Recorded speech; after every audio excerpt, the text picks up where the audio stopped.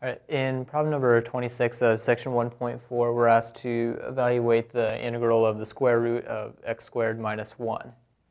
Uh, now, if we look at x squared minus 1, we see that uh, kind of resembles a little bit uh, the identity um,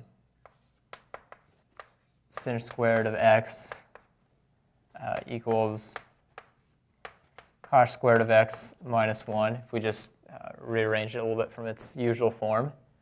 Uh, so if we can kind of somehow make this look like cosh squared of x minus 1, uh, then we can write the square root of sinh squared just in terms of sinh.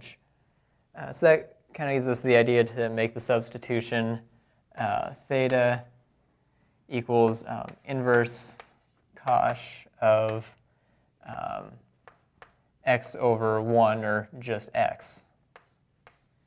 And that's because if we take the um, hyperbolic cosine of both sides, we get cosh of theta.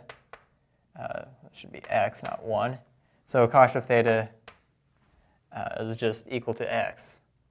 Um, so now we can actually substitute an integrand and actually make it look similar to this. The only thing we need to be careful of is now we're writing uh, the integral in terms of theta, so we need to change dx uh, to something in terms of uh, theta.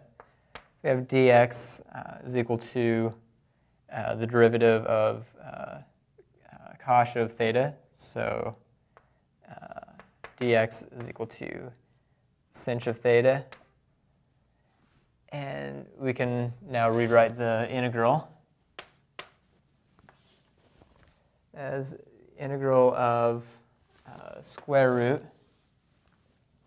of x squared, or cosh squared, of theta uh, minus 1 uh, times sinh of theta uh, d theta. Uh, that's right, there should be a d theta right there. Right, so now we can rewrite this as square root of sine squared, or sinh squared of theta uh, times sinh of theta d theta. And we now equal to uh, integral of sinh, uh, sinh squared of theta um, d theta. Now, the trick here is to use a um, hyperbolic or uh, hyperbolic trig identity, uh, which says that uh, sinh squared of theta is equal to uh, cosh of 2 theta minus 1 uh, over 2. So now, using this identity, we can rewrite the integral as integral of cosh of 2 theta minus 1 uh, all over 2 d theta.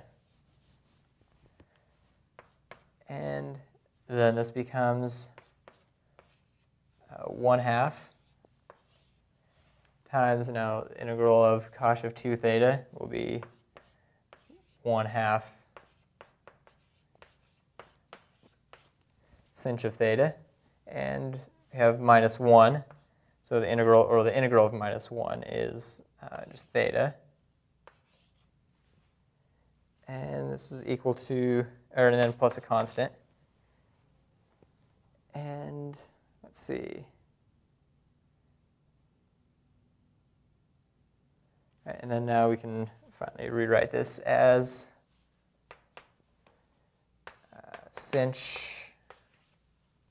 of theta over 4 uh, minus theta over 2 plus a constant. Now, this is our answer in terms of theta, but really we want our answer in terms of x since that's how the question was originally phrased.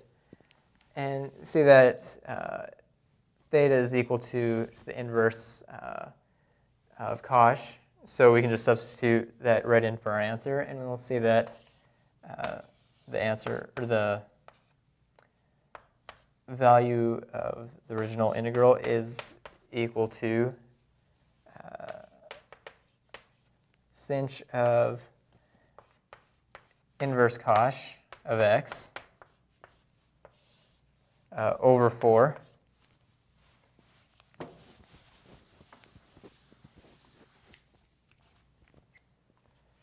minus inverse cosh of x over 2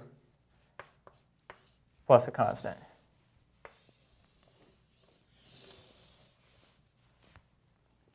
And that's the end of number 26.